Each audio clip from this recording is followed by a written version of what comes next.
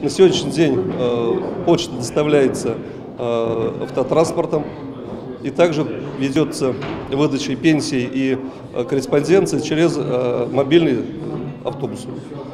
Вот. На сегодняшний день, кроме этого, сам лично занимаюсь поиском помещений для почтового отделения.